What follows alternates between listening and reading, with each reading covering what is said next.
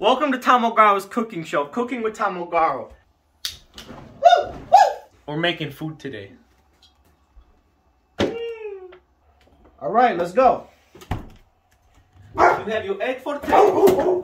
Fuck. Uh, some Cholula. We're gonna get that in there because it's gotta be a little spicy. God damn. Fuck you. Daddy like you spicy. Let's go. Damn, how the fuck? And there we fucking go. It's all done. Look at that. Look at that. Zoom in on that. Fucking beautiful. I, uh, I don't even know. It's mush. I, uh, fuck. I don't know, bro. I don't know. It looks good though. Tasty delicious.